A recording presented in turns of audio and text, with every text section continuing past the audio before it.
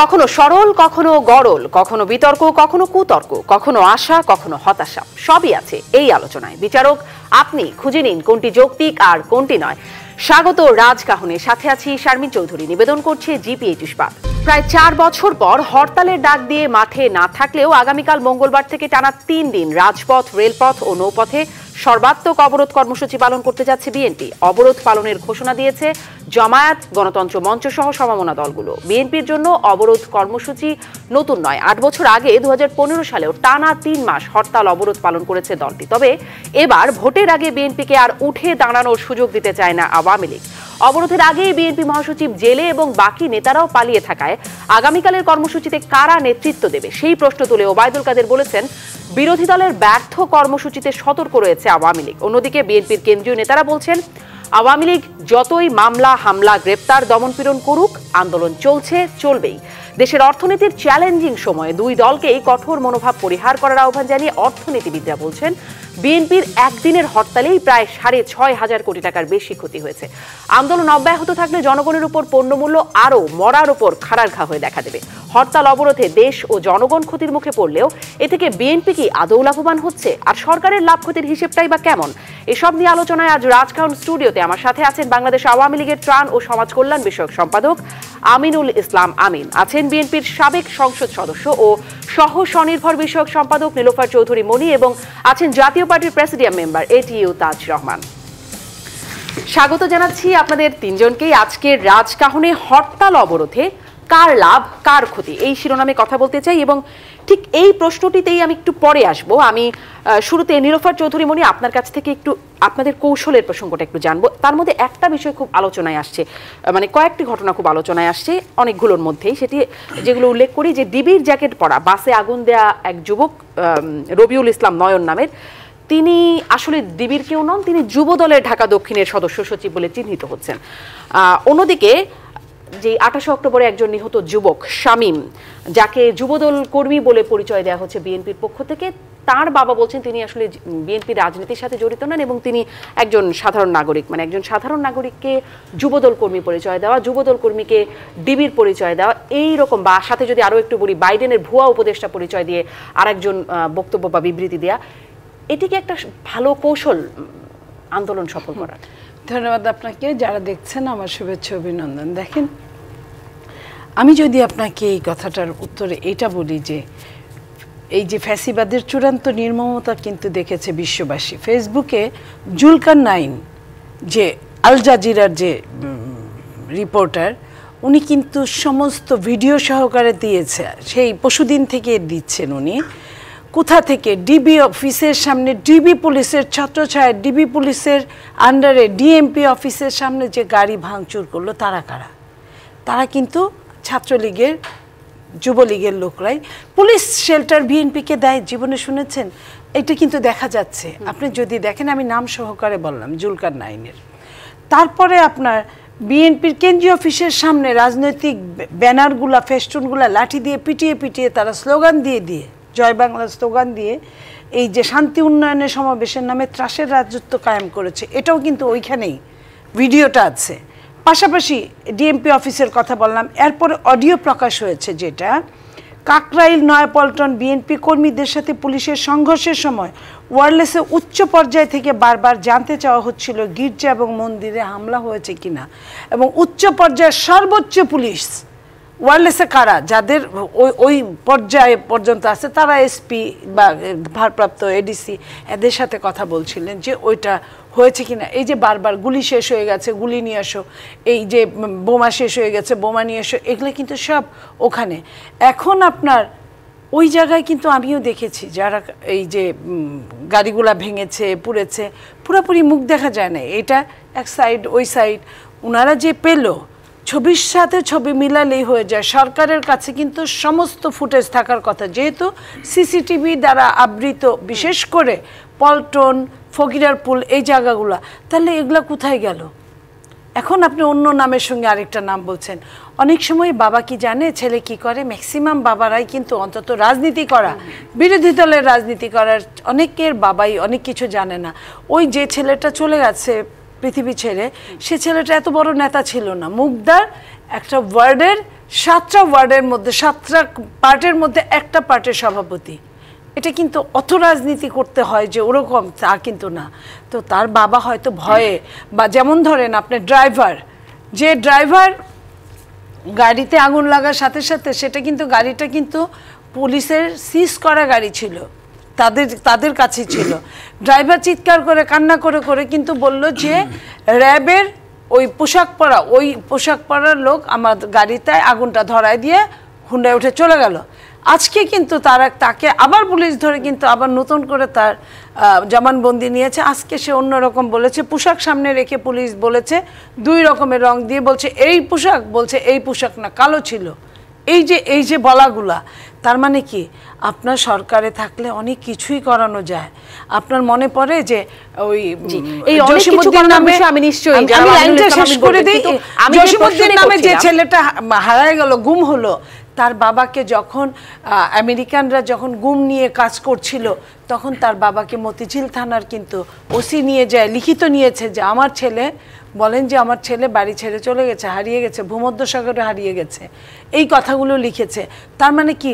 সেটা কি সত্যি? বাবা যে লিখিত দিল তার মানে কি ওটাই সত্যি ছিল? নাকি ভয়ে ত্রাসে ভয় দেখানো সেই তাদেরকে শাস্তি দেওয়া মানে আওয়ামী লীগের অপকৌশলের কথা আপনি বলছিলেন বা সরকারের অপকৌশল সেটা নিশ্চয়ই জানাব আমিনুল ইসলাম আমিন বলবেন। কিন্তু আপনার কাছে যে প্রশ্ন ছিল মানে আপনাদেরই সেই কৌশলটা আহ, সেটি আসলে কতটা মানে আমাদের কৌশল শোনেন আমাদের যদি কৌশল হতো আওয়ামী লীগ কিন্তু ওপেন দেখায় দিত এটা এ এটা বি এটা সি বিকজ আওয়ামী লীগের কাছে জনবল অর্থবল পুলিশি বল তো। প্রশাসনিক বল নো ওটাকে দেখানো হয় না ড্রাইভার স্বপ্রণোদিত হয়ে যেটা বলেছে তার জিনিস হারিয়েছে তার কষ্ট হয়েছে সেটা এক জিনিস আর আজকে যখন টোনটা চেঞ্জ করে বলছে সেটা অন্য জিনিস কিন্তু ভিডিও ফুটেজে যেটা চলে আসছে বা বাইডেনের উপদেষ্টা পরিচয় যিনি চলে আসছে বাইডেনের উপর? আমার আমার অফিসে যে কেউ যেতে পারে যে যদি কেউ বলে এটাও তো একটা ষড়যন্ত্র।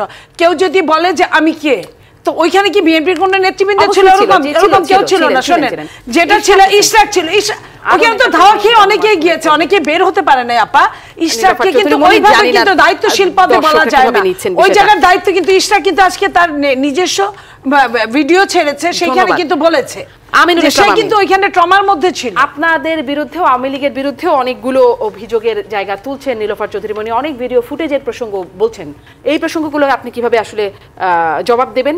এবং আপনাদের কি একটা কৌশলই নাকি যে একটা এরকম উস্কানি বা কোনো একটা ভাবে বিএনপিকে সহিংসতার জায়গায় ফেলে বা সহিংসতার দায়টা তাদেরকে দিয়ে দেশি, বিশেষ করে বিদেশিদের কাছে এই তাদের একটা চেহারা দেখানো। আজকে বিদেশিদের ডেকে কূটনীতিকদের ডেকে ব্রিফ করা হচ্ছে, ব্যাখ্যা করা হচ্ছে কেন? সার্বিক শুভেচ্ছা আপনাকে দিব্যজ্ঞ আলোচক এবং সম্মানিত দর্শক সবাইকে। বিষয়টা হচ্ছে কি যে প্রযুক্তির কারণে বর্তমানে চাইলে আমি কিছু বানাতে পারি না, আবার চাইলে কিছু লুকাতেও পারি না। আবার একেবারে কিছু বানানো যায় না তা না আর্টিফিশিয়াল ইন্টেলিজেন্সের মাধ্যমে কিছু কিছু বানানো যায়? কিন্তু নিরুপত চৌধুরী মনিরা যখন বলেন যে সব আওয়ামী লীগের সাজানো, সরকারের সাজানো, সেটা যদি সত্য ধরে নিই, তাহলে একটা বিষয় বেরিয়ে আসে, সেটা হচ্ছে কি অ্যাজ এ রাজনৈতিক দল হিসেবে তারা কি ভয়ঙ্কর ভঙ্গুর অবস্থায় আছে? সব যদি সরকার বানাতে পারে তাহলে তাদের কাজটা কি? ধরেন, উনি বলছেন যে জো বাইডেনের অ্যাডভাইজারের কথা বলছেন যে এটা ষড়যন্ত্র।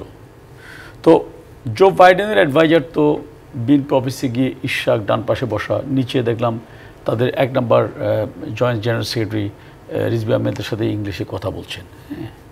তো একজন লোক যখন আমার অফিসে এসে বলছেন যে আমি জো বাইডেনের অ্যাডভাইজার তো আমি কি তাকে অ্যালাউ করব? এটা হতে পারে কোনো দিন ওখানে তখন পুলিশ ছিল না।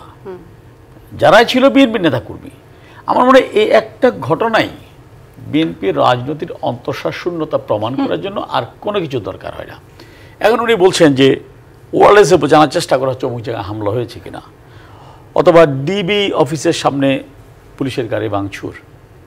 কই সোশ্যাল মিডিয়া বলেন, রেগুলার মিডিয়া বলেন, কোথাও এই ধরনের কিছু দেখলাম না। এই যে আজগুবি বাইবে উনি জুল কারনাইনের এক্সাম্পল টানছেন। জুল কারনাইনকে যখন উদাহরণ হিসাবে টানা হয়, তার মানে আমাদের বোঝার কোনো কারণ নেই না বোঝার, যে এখানে সত্যতার লেশ মাত্র নেই। এই জুল কারনাইনরা প্রতিদিন চব্বিশ ঘণ্টা অনুক্ষণ সোশ্যাল মিডিয়ায় শেখ হাসিনা পালানোর প্রস্তুতি নিচ্ছে। বিমান, বিমানবন্দরে বিমান হাজির। বাক্স প্যাটেরা গুটিয়ে নেওয়া হয়েছে। প্রতিদিন বলছে। এখন তাকে যখন আপনি দৃষ্টান্ত হিসাবে নিয়ে আসছেন যে সে এ কথা বলেছে, এটাও কিন্তু আপনার ভঙ্গুরতার, আপনার দেউলিয়াপনার আরেকটি প্রমাণ। দেখুন আমরা উস্কানি দিলাম নাকি তারা দিল? যে বিএনপির এবং আওয়ামী লীগের দুটি সমাবেশ ছিল দুপুরে বিকাল দুটা সেখানে গাজীপুর থেকে আওয়ামী লীগের সমাবেশে যোগদান করার জন্য যে মিছিলটি আসছিল দুটি বাস কাকরাইল মূলে তাদেরকে আটকে পিটালোকে পুলিশ? নাকি বিএনপি নেতা কর্মীরা তাহলে উস্কানি কে দিল? এক। একটু তাহলে এই প্রসঙ্গে জিজ্ঞাসা করি আপনাদের লোকজন যখন আসছে তখন সেখানে পুলিশের কোনো তল্লাশি নাই কিন্তু বিএনপির পরিচয় পেলে মানে বিশেষ একটা তল্লাশি আমি সে জায়গায় আসছি। সে জায়গায় আসছি। আমি এটা শেষ করি তারপর অবশ্যই আমি এটা বলব, আমি খুব ভালো একটা প্রশ্ন করছেন তাহলে উস্কানিটা কে দিল? এক, প্রধান বিচারপতিকে বিরুদ্ধে কোনো রায় এখনও দিছে? দুনিয়ার ইতিহাসে প্রধান বিচারপতির বাসভবনে এরকম জঘন্য হামলার কোনো দৃষ্টান্ত আছে? এটাও কি আওয়ামী করেছে? হ্যাঁ। এই যে আপনার একমাত্র আমি এই প্রথম দেখলাম আমার জীবনে, যুদ্ধের সময়ে হসপিটাল হামলা। যেটা গাজায় করেছে ইসরায়েলিরা। বাংলাদেশে তাদের প্রতিনিধিরা আবার হামলা করল পুলিশ হাসপাতালে। এটাকে আওয়ামী করেছে। উনি নয়নের কথা বলছেন। নয়নকে আমি পার্সোনালি চিনি। উনি একসময় লেগুনার হেল্পার ছিল আপনার এই যে আমার অফিস যেহেতু ধানমন্ডি আওয়ামী অফিস যেহেতু আপনার এ, জিগাতলার উল্টা দিকে। ওখানে সে লেগুনা চালাইতো। সে এখন যুবদলের দক্ষিণের ভারপ্রাপ্ত সেক্রেটারি এখন ওকে এই ড্রেস কি আওয়ামী লীগ পরাই দিচ্ছে? তাহলে কি সে আওয়ামী লীগের লোক? যদি সবই হয় তাহলে বিএনপির কে? এই জন্য ওবায়দুল কাদের প্রশ্ন করেছেন আপনার নেতৃত্ব দেবে কিন্তু আপনার যে দলটা এই দেউলিয়াপনার জায়গায় দাঁড়িয়ে এখনও মিথ্যাচারকে ভর করছেন জুলকার জুলকান্নানকে উদাহরণ হিসেবে টানছেন তা আমার মনে হয় না যেগুলো জবাব দেওয়ার কোনো প্রয়োজন দেশবাসী বিশ্বাস করি না। একদম। এখন আমি ওই জায়গায় আসি আপনি যেটা বলছেন যে কেন। আওয়ামী লীগ অফিসে হ্যাঁ। দেখুন আমি বলেছিলাম যে ডিএমপি অথরিটি একটা রাজনৈতিক দলকে সমাবেশের অনুমতি দিবে কি দিবে না সেটা নির্ভর করে রাজনৈতিক দলটির অ্যাক্টিভিটিস এবং তাদের কিছু গোপন সংবাদের ভিত্তিতে। তো সে জায়গায় তাদের কাছে সেরকম সংবাদ ছিল বলেই অনুমতিতে দিতে দ্বিধায় ছিল। এবং ফাইনালি এই দ্বিধার জায়গা থেকে ওরা চেক আপ করেছে। ফাইনালি এই সাবভার্সিভ অ্যাক্টিভিটিসের মাধ্যমে তারা প্রমাণ করেছে যে একদম স্পষ্ট মানে যুগে যুগে যারাই বিরোধী দল সেটা আওয়ামী লীগ বা বিএনপি যেই থাকুক তাদের বিষয়ে তাদের কাছে মানে না ওরকম হয়নি পুলিশ শারমিন, আমি প্রশাসনের একটা কাছে কথা বলি। তথ্য থাকে। আপনি দু আমি হাজার আসি আপনার তিরিশ কাছে। সেকেন্ডে দু সালে ঢাকা অবরোধ কর্মসূচি ছিল আওয়ামী লীগের। এক রাতে গ্রেপ্তার হয়েছিল আট হাজার। এটা আমার রিপোর্ট না প্রথম আলোর রিপোর্ট আর এই বিএনপির কর্মসূচি সব মিলিয়ে দুইশো জনের গ্রেপ্তার হয়নি। তার মানে আপনাদের সম্পর্কে বেশি তথ্য ছিল? না প্রথম আমি দিনই 1000 তখনও- কিন্তু কি, মানে 98 না নিপীড়নের 98 লেভেলটা যদি আপনি তুলনা করেন আপনি দেখবেন সে জায়গায় আওয়ামী লীগ আসলে অনেক প্রশ্ন আসে কথার প্রেক্ষিতে কথা কিন্তু আমি জনাব এটিও তাজ রহমানের কাছে একটু শুনতে চাইব যে কৌশল বিএনপির কৌশল কীভাবে দেখছেন আওয়ামী লীগের কৌশল কীভাবে দেখছেন এবং এর মধ্যে আপনাদেরও কি কোনো কৌশল আছে কিছু না করে থাকা বা এরকম কিছু? ধন্যবাদ আপনাকে এবং আমার দুই সহালোচক এবং দর্শক সবাই সালাম শুভেচ্ছা। দেখেন আজকের এই অবস্থানের জন্য কিন্তু আমরা আজকে তেত্রিশ বছর আগে বলে দিয়েছিলাম যে এই যে ফর্মুলা আপনারা যাচ্ছেন, আওয়ামী লীগ, বিএনপি তিন জুটির উপর এই ফর্মুলা ওয়ার্কআউট হবে না। তারপরেও আমরা সেই ফর্মুলা ওনাদের কাছে, ওনাদের কথা শুনে ক্ষমতা থেকে সরে গিয়েছিলাম। যে ক্যারটেকার গভর্নমেন্ট নিয়ে আজকে বিএনপি আন্দোলন করছে থার্টিন অ্যামেন্ডমেন্টের মাধ্যমে সেই ক্যারটেকার গভর্নমেন্ট অ্যাবলিশ মানে পার্লামেন্টে নিয়ে আসা হয়েছিল। সেটা আবার ফিফটিন অ্যামেন্ডমেন্টের মধ্যে বাতিল করা হয়েছে। আওয়ামী লীগ, বিএনপি মিলেই কিন্তু ক্যারটেকার গভর্নমেন্ট করে আমাদের বিরুদ্ধে আন্দোলন করে নিয়ে আসলেন। পরে বিএনপি বলল, না ক্যারটেকার গভর্নমেন্ট এই কনসেপ্টটা পাগল শিশু ছাড়া কেউ না। ইভেনচুয়ালি দেশে আন্দোলন হলো, তারপরে ক্যারটেকার গভর্নমেন্ট তারাই আবার কনসেপ্ট নিয়ে আসলো। আওয়ামী লীগ এসে সেটা আবার বাতিল করে আদালতের মাধ্যমে বাতিল হয়ে গেল। আমাদের রাজনৈতিক দলগুলোর সবচেয়ে বড় যে ব্যর্থতা, শারমিন, সেটা হলো আমরা নির্বাচন ব্যবস্থাটাকে এখনও পর্যন্ত কেউ অ্যাকসেপ্ট করতে পারলাম না। আওয়ামী লীগ, বিএনপি দুটি বৃহত্তর স্টেক হোল্ডারের দেশের রাজনীতি অস্বীকারের সুযোগ নাই। আজকে আওয়ামী লীগ নির্বাচন করে ফেলবে, নির্বাচন করার ক্ষমতা তাদের আছে। যদি বিএনপি সেই নির্বাচনে না যায়, সেই নির্বাচনে বৃহত্তর একটা স্টেক হোল্ডার বাইরে থাকবে, বাকিরা সবাইকে নির্বাচন করে আসবে। তখনই আপনার পার্টিসিপেটটা কমে যাবে, ভোটার উপস্থিতি কমে যাবে। একটা যারা আছে দেশের থার্টি থার্টি টু পার্সেন্ট পপুলেশনরা ভোট দিতে যাবে না। আস্তে আস্তে আপনার নতুন প্রজন্ম কিন্তু এই বুটের যে অবস্থা, বুট যে কেন্দ্রে যেতে হবে বুট দেওয়ার জন্য, রাজনৈতিক দলের ক্যান্ডিডেটের পক্ষে, আপনি নেক্সট ফাইভ ইয়ার্স পর অনেক দেখবে না জানবেই না কখন বুট হচ্ছে। আবার রাজপথ উত্তপ্ত, আবার রক্তের হোলি খেলা, আবার রাজপথে হত্যা, আবার গাড়ি ভাঙচুর, আবার পুলিশের বুলেট সাধারণ কর্মীদের গায়ে লাগবে। আমরা কেন, কোথায় আছি? আমরা কেউই গর্ব করার কোনো সুযোগ নাই। রাজনৈতিক দল হিসাবে আমরা এই দেশ, আমরা সকলের। কেউ বিএনপিরও একা না, আওয়ামী লীগের না, জাতীয় পার্টিরও না। এই দেশের আপনি, আমি সবাই মিলে এই দেশটা।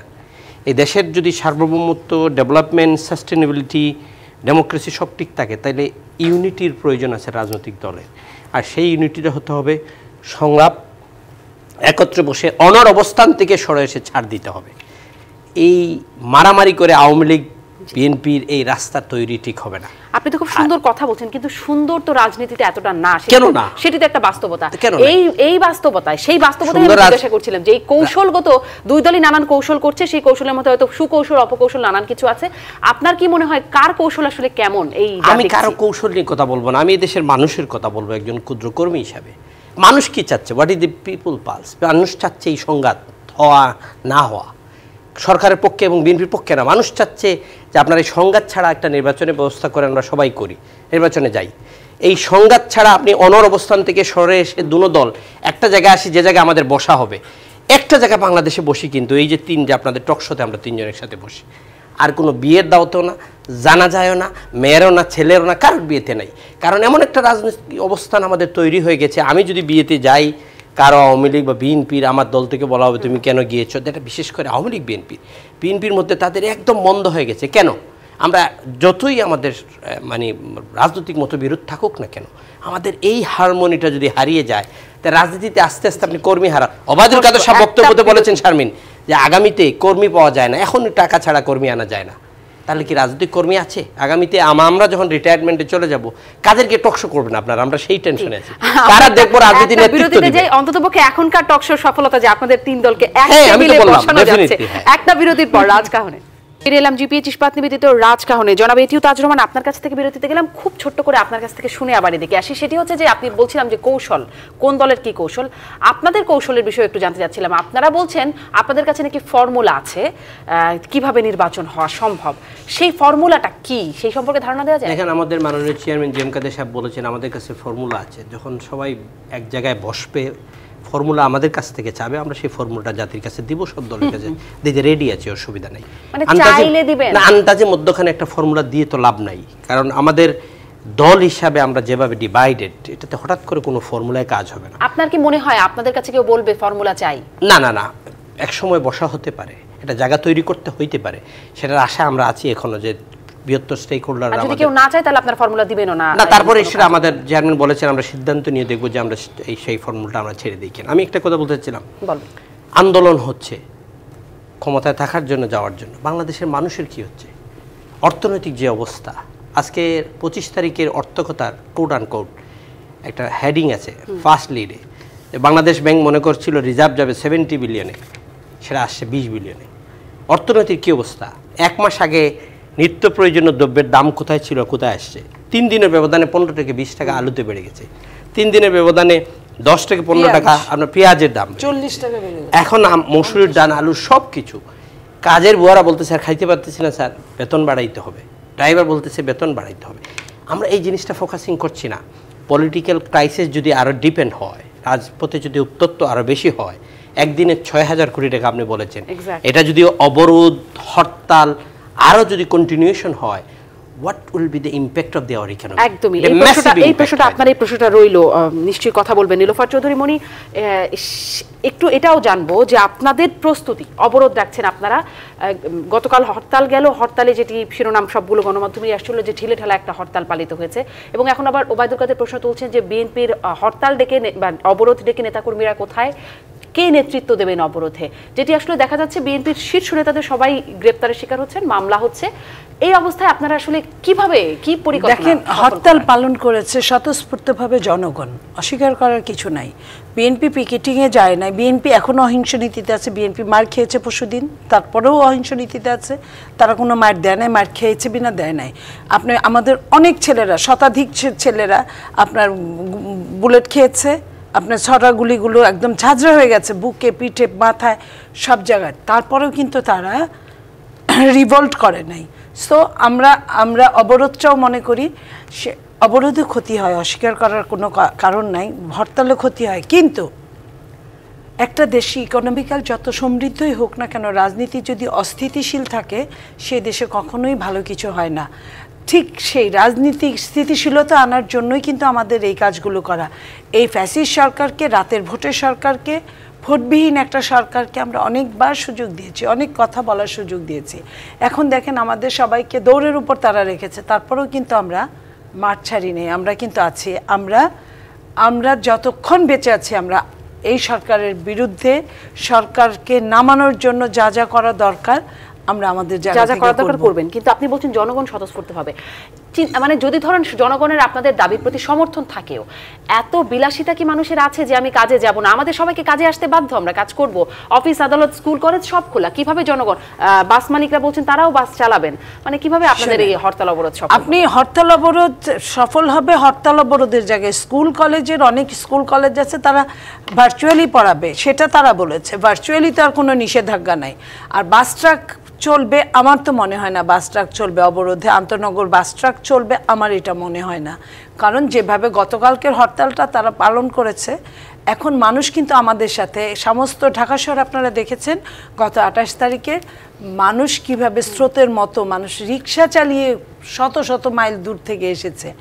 সো আমরা মনে করি যে আমরা এই অবরোধগুলো দিলে এটা তো একটা সময়ের জন্য।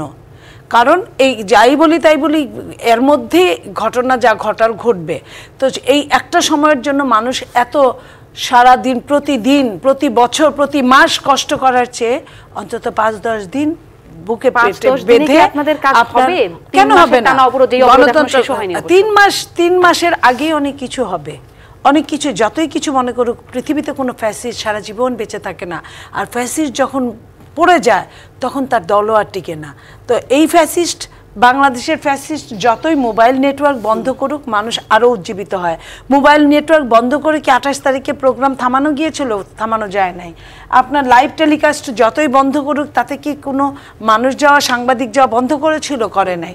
তারপরে আপনার ডিবি তার নিজস্ব স্টাইলে নিজে সরকারি কিছু মদত নিয়ে তারা আন্দোলন করেছিল তাতে কি হয়েছিল? নিরপেক্ষ। সাংবাদিক।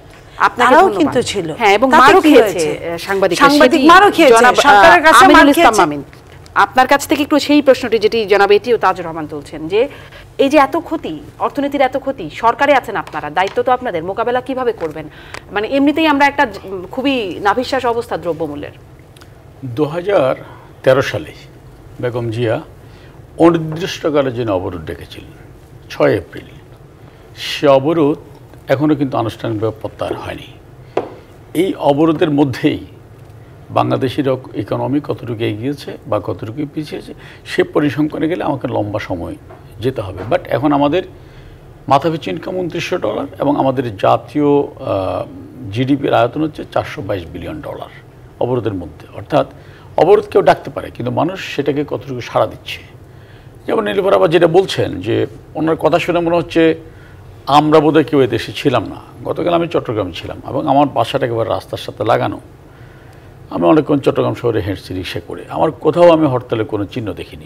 কারণ এটাকে যদি উনি মনে করে মানুষ তাদের ডাকে সারা দিচ্ছে, হরতাল করছে, তাহলে তো আমার বলার কিছু নেই। কেউ যদি মনে মনে মন কলা খায়, আপনি তাকে ঠেকাইতে পারবেন না। এক। নাম্বার টু, উনি একটি কথা বলেছেন যে ফেসিস্ট সারা জীবন বেঁচে থাকেন। That's true. কিন্তু ফেসিস্ট না। এই নশ্বর পৃথিবীতে কোনো কিছুই অবিনশ্বর নয়। সব কিছুই ধ্বংস হয়। ফেসিস্ট হলেও পতন হয় গণতান্ত্রিক হলেও পতন হয়। আপনি ভারতের দিকে তাকান। পশ্চিমবঙ্গের কমিউনিস্ট সরকার অথবা ত্রিপুরার কমিউনিস্ট সরকার তাদের মধ্যে এক আনা পয়সার দুর্নীতির অভিযোগ ছিল না। কিন্তু ভোট ওরা ওয়াশ আউট হয়েছে কারণ কি জানেন? কারণ তারা জন আকাঙ্ক্ষাকে ধারণ করতে পারেনি। জন আকাঙ্ক্ষাকে ধারণ করতে না পারলে এই পরিণত হয়। বাট হ্যাঁ একটা পার্থক্য হচ্ছে এই আপনি যখন ফেসিজম করে রাষ্ট্র চালাবেন, তখন আপনাকে দেশ থেকে পালিয়ে যেতে হয়। যেমন শাহ পালিয়ে গিয়েছিল ঈদ আমিন পালিয়ে গিয়েছিল, মার্কাস পালিয়ে গিয়েছিল। যেমন এখন তাদের অনেকে পালিয়ে আছেন হ্যাঁ? আবার আন্ডারটেকেন দিতে হয়, আমি জীবন রাজনীতি করব না। আপনি যখন সেটা করবেন না, তখন ক্ষমতা হারাবেন, কিন্তু আপনাকে দেশ ছেড়ে পালাতে হয় না। এই বিষয়গুলো মাথায় রাখা উচিত। ধরেন, এই যে মনিয়াপা বললেন যে কালকে বিএনপি মার খেয়েছে, আমি আগে বলেছিলাম যে একজন পুলিশকে, সাব ইন্সপেক্টরকে আমিনুল কি ভয়ঙ্করভাবে পিটিয়েছে একটা রাজনৈতিক দলের দেউলিয়াপনা কোন জায়গায়? আপনি ভিডিওটা একটু গভীরভাবে দেখেন। তাকে পিটিয়ে হত্যা করা হলো। হত্যা করার পরে একজন এসে তার মানিব্যাগটা ছিনিয়ে নিল। একটা রাজনৈতিক দলের কর্মীদের চিন্তা, চেতনা কত নিচু লেভেলে গেলে একজন মৃত মানুষকে আবার লাথি মারতে পারে, আবার তার মানিব্যাগটা ছিনিয়ে নিতে পারে। একই দৃশ্য আমরা অতি সম্প্রতি গাজায়ও দেখেছি ইসরায়েলি বাহিনীর নিপীড়ন ফিলিস্তিনিদের উপরে। হ্যাঁ তো এখন পুলিশকে তারা মারবে। আপনি সে ভিডিওটা ক্রিস্টাল ক্লিয়ার এখানে কিন্তু লুকোচুরি কিছু নেই। হ্যাঁ তারপর এই যে বলছে- পুলিশ মার খাচ্ছে সাংবাদিক মার খাচ্ছে বা জনগণের ক্ষতি হচ্ছে জানমালের ক্ষতি হচ্ছে অর্থনীতির ক্ষতি হ্যাঁ। হচ্ছে এর মানে তারপরেও কি কোনো রকম সংলাপ সমঝোতার কোনো চাপ আপনারা অনুভব করেন না? একটা কথা বলেছেন। মানুষের ক্ষতি হয়ে সংলাপের প্রসঙ্গে যখন এসলো আসলো যখন আপনার এনডিআই এবং আইআরআই এর প্রতিনিধি দল বলল যে একটা সংলাপের আয়োজন করা উচিত। তখন আমাদের সাধারণ সম্পাদক বলেছেন যে সংলাপ হতে পারে আনকন্ডিশনাল তখন ফখরুল সাহেব বললেন, পদত্যাগ না করলে সংলাপ হবে না। তার মানে কি? দেখুন, সংলাপ তো হয়েছে অতীতে। যখন তারানকে এসেছিল আমরা বসেছিলাম। যখন স্যার নিনে এসেছিল আমরা বসেছিলাম। আমরা কিন্তু তখন বলিনি বিএনপিকে পদত্যাগ করে বসতে হবে আমরা আলোচনা করেছিলাম কারণ আমরা সমাধান চেয়েছি। তো ওরা তো সমাধান চায় না। চায় না বলেই যখন মহামান্য রাষ্ট্রপতি তাদেরকে ডাকেন তারা সেখানে যায় না। যখন আইনের মাধ্যমে নির্বাচন কমিশন গঠিত হয় এবং সেই আইনে বিএনপির পার্লামেন্ট মেম্বাররা সংশোধনী প্রস্তাব উত্থাপন করেন সেটা গৃহীত হয় সেই নির্বাচন কমিশন ডাকলে তারা যায় না। এবং বিদেশিরা যখন বলে আমরা যখন বলি আমরা সংলাপে যাই তখন তারা বলে আপনারা হাত পা ছেড়ে সারেন্ডার করে আসেন তাহলে আলোচনা করব। একটা বিরতির পরে বিদেশিদের বার্তাটা নিয়ে আরেকটু কথা বলব একটা বিরতির পরে ফিরছি রাজকাহনে। ফিরলাম রাজকাহনে। জনাব এটিও তাজ রহমান প্রশ্ন দুটো উত্তর খুব সংক্ষেপে। একটা প্রশ্ন হচ্ছে যখন সমাবেশ মহাযাত্রা হচ্ছে তখন ওদিকে কর্ণফুলি টানেল উদ্বোধন হচ্ছে। একটু মনোযোগ হারায় কিনা রাজনৈতিক সমাবেশগুলো? এক এবং বিদেশিদের যে বিবৃতিগুলো নিশ্চয়ই সেটা আপনারাও লক্ষ্য করছেন সেটি আপনারা কীভাবে দেখেন? দুটি বিষয় ছোট্ট ছোট্ট করে। প্রথমত যে টানেল উদ্বোধন হচ্ছে প্রোগ্রামের দিন অবভিয়াসলি সরকারের তার একটা কৌশল এটা। এদিন বাংলাদেশের মানুষ নতুন যুগে যাচ্ছে।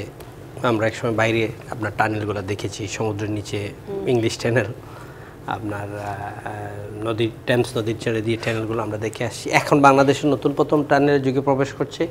স্বাভাবিক একটি কৌশল। টেলিভিশনগুলো তো সবগুলো লাইভ করছিল। তো they have got the privilege দ্বিতীয়ত হলো প্রোগ্রামও কিছু কিছু দেখাচ্ছে সোশ্যাল মিডিয়া ডাইরেক্ট টেলিভিশনগুলো কম দেখাচ্ছে। এটা একটা কৌশল এটা নিঃসন্দেহে। এটা একটা বেনিফিট পাচ্ছে সরকার বিরোধী দলরা সেটা পাচ্ছে না। আপনি বলছেন বিদেশিদের স্টেটমেন্ট দেখেন বিদেশিদের যে স্টেটমেন্ট বা বিদেশির কাছে আমরা যাওয়া এটা কিন্তু অনেক আগে চেয়েছিল। আমরা যখন রাষ্ট্র ক্ষমতায় ছিলাম তখন প্যারিস কনসোর্টিয়াম ছিল। ওইখান থেকে কিন্তু উন্নয়নশীল দেশকে টাকা দেওয়া হতো উন্নত দেশগুলো ওরা বসতো সেখানে কাকে টাকা দেওয়া হবে? যে ওইখানে কিন্তু প্রতিনিধি পার্টি আওয়ামী লীগ, বিএনপি, বলা হতো যে এই গভর্নমেন্টটাকে টাকাটা দিয়েন না। ডক্টর বুদ্ধযুদ্ধ যদি আওয়ামী লীগ থেকে গিয়েছিলেন বিএনপি থেকে, ডক্টর কামাল গিয়েছিলেন আওয়ামী লীগ থেকে। অন রেকর্ড এরপর পরবর্তীতে ধারাবাহিকতা যখন রাষ্ট্র ক্ষমতায় যে দল তাকে তার বিরুদ্ধে বিরোধী দল থেকে বলা হয়, এটা হচ্ছে, সেটা হচ্ছে, এ তারই ধারাবাহিকতা এখন চলছে। বিএনপি বলছে যে আমাদের উপর নির্যাতন, নিপীড়ন, আন- আন্দোলন করতে গেলে দিচ্ছে না। আমাদের দেশে কিন্তু এই আন্দোলন না করার সময় ধরপাকড় কিন্তু আমরাও আমি আপনার সামনে আমাদের ছিল যখন ninety one to ninety five পরে আবার যখন আওয়ামী লীগ আসছে বিএনপির উপর আবার যখন বিএনপি আসছে আওয়ামী লীগের মানে উপর। এটা আমাদের নেতা হুসেন মাহমুদ এরশাদ এয়ারপোর্টে গেছেন বোর্ডিং কার্ড নিয়ে বসে আছেন তিন ঘণ্টা পরে আসে বলছে আপনি যাইতে পারবেন না। উপরের নির্দেশ। ইতিহাস তো আমি আমি উইটনেস অনেক। আমাদের এই কৌশলটা বিদেশির কাছে তখনই যাই যখন আমাদের মধ্যে দ্বন্দ্বটা বেশি থাকে আস্থার অভাব। সেটি তো একদমই স্পষ্ট। আস্থার অভাব যখন বেশি হয়। এটিও তাজ রহমান নীলোফার চৌধুরী মণি যেটি পশ্চিমা সাতটি দেশ বিবৃতি দিচ্ছে এবং মার্কিন স্টেট ডিপার্টমেন্ট আঠাশে অক্টোবরে তাদের যে বিবৃতি পোস্ট করছে তারা যে আহ, হত্যা রাজনৈ- রাজনৈতিক কর্মী হত্যা হাসপাতালে অগ্নিসংযোগের ঘটনা পুলিশ হত্যা সাংবাদিক হত্যা সাংবাদিক এর উপর নির্যাতন, বেসামরিক নাগরিকদের বিরুদ্ধে সহিংসতা তেমন এগুলো ভিসা নিষেধাজ্ঞার ক্ষেত্রে বিবেচিত হবে। এই বিষয়টা কীভাবে মানে বিবৃতিগুলো দেখেন, এটা তো খুবই দুঃখজনক, ভীষণ দুঃখজনক। এখানে সরকারেরই ভূমিকা, কারণ সরকার যদি নমনীয় হয় জনগণের ভোটে যদি সরকার নির্বাচিত হতো, তাহলে নমনীয় হতো, কারণ পাঁচ বছর পর আবার যেতে হতো। সরকার যদি নমনীয় হয়, তাহলে কিন্তু বিদেশিরা এত এই ধরনের কথাগুলো বলতে পারে না। বিদেশিরা ধরেন টার্গেট আছে বাংলাদেশকে নিয়ে, কিন্তু কষ্ট লাগবে, কষ্ট করে দিচ্ছে কি সরকার? সরকার কিন্তু সব কিছু বুঝে। এর মধ্যে একদিন প্রধানমন্ত্রী বললেন যে এই আমেরিকা বা আওয়ামী লীগ এবং বিএনপি কাউকেই ক্ষমতায় চায় না, তারা একটা পুতুল সরকার চায়। তো আমি যদি বলি, আপনি এতই বুঝেন, তাহলে আজকে কেন আপনি এই সুযোগটা করতে দিলেন যে অবৈধ ক্ষমতা টিকাতে সরকার কর্তৃক আঠাশে অক্টোবর গণতন্ত্রের সংগ্রামীদের উপর হামলার নিন্দা করে সুষ্ঠু নির্বাচনের পরিবেশ তৈরির আহ্বান জানিয়ে সাত দেশের যৌথ বিবৃতি। এই যে সাতটা দেশের যৌথ বিবৃতির জন্য এবং আপনি তো সরকার, আপনি যদি একটা প্যাগাসাস মেশিন আইনে যদি আপনি আমার উপর খবরদারি করার, আমার গোপন তথ্য নেন, তাহলে উপরের উপর আছে সেরের উপর কিন্তু সুয়াশের। আপনার উপর যারা সারা বিশ্ব চালায় তারা যে মেশিনটা বসায় রাখছে বঙ্গোপসাগরে কিংবা আরব সাগরে সেইখান থেকে যে আপনি কি কি বলতেছেন একজন জুলকার নাইন কোথা থেকে তথ্য পাবে? জুলকার নাইন তো আমার মতো আপনার মতো আপনি সাংবাদিক আপনার মতো আরেকজন সাংবাদিক। তার কাছে এই তথ্যগুলো আসে থেকে তার মানে মেশিনের উপর মেশিন আছে। এই মেশিনের উপর মেশিন যারা একটা সময় দুই হাজার আটে আমাদেরকে সরায় দিছিল যে মেশিনগুলো অ্যাপ্লাই করে ঠিক একই মেশিন অ্যাপ্লাই করে এখন এই সরকারের উপর এই সরকারের অবস্থা এমন মনে হচ্ছে লাইন শেষ করি। আওয়ামী লীগ ক্ষমতার ফাঁদে পড়ে একের পর এক ভুল করছে। অনেক ধন্যবাদ দিলফার চৌধুরী। মনি মেশিনের উপর মেশিন থাকে তথ্য কো- এক দল একটা বিশ্বাস করে আরেক দল আরেকটা বিশ্বাস করে। যখন যেটা যার ফেভারে যায় তাই তো মনে হয় নাকি? আমিনুল ইসলাম আমিন আপনারা কীভাবে দেখছেন বিদেশিদের এই বিবৃতি? না দেখুন যদি বিএনপি হাসপাতালে হামলা না করতো এবং যদি তারা শান্তিপূর্ণ একটি সমাবেশ করত তাহলে ডেফিনেটলি এই সাত দেশের এই বিবৃতির প্রয়োজন হতো না। এক এখন উনি যে জোল কার্নেনের তথ্যের কথা বলছেন তথ্য আর ভিডিওর কথা বলছি, অডিওর কথা বলছি। এখন আপনি জুল কানলেন কেন? যে কেউ একটা মিথ্যা তথ্য দিতে পারে যেমন আমরা দেখেছি যখন নিষ্পাপ শিশু কোমলমতি ছাত্রছাত্রীরা নিরাপদ সড়ক আন্দোলন করছিল। তখন আমরা দেখলাম যে একজন নৌসাবানা কে নামে একজন অভিনেত্রী বলল যে আওয়ামী লীগ অফিসে চারজনকে রেপ করা হয়েছে পাঁচজনকে হত্যা করা হয়েছে। মানুষ মানুষ বেরিয়ে আসলো। এটা কি তথ্য ছিল? এটা ছিল মিথ্যা প্রপাগান্ডা। জুল কার্লাইনরা সারা পৃথিবীতে এখন সরকারের বিরুদ্ধে সেই মিথ্যা তথ্য এবং মিথ্যা ভিডিও ছড়াচ্ছে এগুলো তথ্য নয়। ভিডিও হচ্ছে সেটাই যেটা আমরা দেখেছি যেটা বললাম যে বিএনপি নেত্রী বিএনপির কর্মীরা একজন পুলিশকে নির্মমভাবে পিটিয়ে মরার পরে আবার তার শরীরে লাথি মারছে, তার মানিব্যাগ ছিনিয়ে নিচ্ছে। এখন যদি বলে পুলিশ মার খেয়ে তারপরে এই যারা আক্রমণকারী তাদের উপর লাঠিচার্জ করবে না, তাদেরকে রাবার বুলেট মারবে না, তাদেরকে কাঁদার গ্যাস মারবে না, তখনই প্রমাণিত হবে পুলিশ নিরপেক্ষ। আমার মনে হয় সেই নিরপেক্ষতায় যদি পুলিশ দায়িত্ব পালন করতে যায়, তাহলে এই দেশ আর পুলিশের কোনো দরকার নেই। তাহলে এই দেশটা অবশ্যই একটি আর অকার্যকর রাষ্ট্রে পরিণত হবে। যে রাষ্ট্রটা বিএনপি তাদের পাঁচ বছরে ধাপে ধাপে নিয়ে গিয়ে বাংলাদেশকে পাঁচবার দুর্নীতির বিশ্ব চ্যাম্পিয়ন করেছিল এবং যে সময়ে বাংলাদেশে একজন পুলিশ 2000 সুপারের এর দুর্নীতি নেতৃত্বে বিশ্ব পুলিশ- চ্যাম্পিয়ন পুলিশ 2001 সুপারের এর নেতৃত্বে রেজাল্ট হয়েছে। আপনার বাংলাবাদীদেরকে শতভাগ নিঃস্বতা দিয়ে যেখানে স্লোগান উত্থিত হয়েছিল আমরা হব তালেবান বাংলা হবে আফগান যেখানে একদিনে পাঁচশো জায়গা বোমা হামলা হয়েছিল যেখানে বলা হয়েছিল তাগুতি আইন মানে না স্লোগান দিয়ে আমরা দেখেছি বিচারালয়ে বোমা হামলা এবং বিচারকের ক্ষত বিক্ষত লাশ গাছের শাখায় ঝুলছে। সেই জি। একদম সংক্ষেপে শেষ করবেন। শেষ বক্তব্যটা এটা যে এই আন্দোলন তাহলে মানে জনগণের উপরে ঠিক কেমন প্রভাব ফেলবে? সামনে আর কতদিন চলবে? খুব স্পষ্ট বিষয়। বিএনপি যদি জনগণের ক্ষমতায় বিশ্বাস করত তারা আজ আমাদের প্রতিদিনকে ফেসিস বলছেন এবং বলছেন, আমরা কথা বলতে দিচ্ছি না। প্রতিদিন ফেসিস বলে গালি দিচ্ছেন, কিন্তু কেউ তাদের বাধা দিচ্ছে না। যদি জনগণের ক্ষমতায় বিশ্বাস করতো, অন্ততপক্ষে বিএনপির মহাসচিব কোনোদিন এটা বলতেন না যে পশ্চিমা বিশ্ব এবং আমেরিকা আমাদেরকে সাহস যোগাচ্ছে কোনোদিন তাদের ভাইস প্রেসিডেন্ট বেশরা শাহজাহান উমর বলতেন না যে, পিটার হাস বাবা, আপনি আমাদের ভগবান। কোনো দিন তারা জো বাইডেনের অ্যাডভাইজার মিয়া আরিফকে নিয়ে এই সাংবাদিক সম্মেলন করতেন না। যদি মানুষের উপর তাদের ন্যূনতম বিশ্বাস থাকতো। অনেক ধন্যবাদ জানো মাহমুদুল ইসলাম আমিন- অনেক ধন্যবাদ দিলফার চৌধুরী এটিও তাজ রহমান আপনাদের তিনজনকে। ধন্যবাদ দর্শক, এতক্ষণ সাথে থাকবার জন্য আজকের মতো বিদায়। জি, ব্রিটিশ বাদ বিদ্যুৎ রাজকাহন থেকে।